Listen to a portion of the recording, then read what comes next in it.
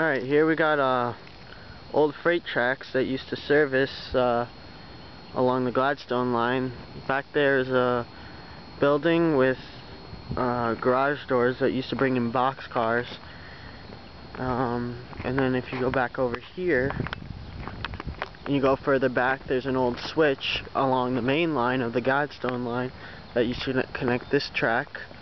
And uh, used to be the old good old blue Conrails that used to bring the tracks in, bring uh, good old box cars in, drop them off here. I believe it used to be a paper plant actually, and they would ship paper out.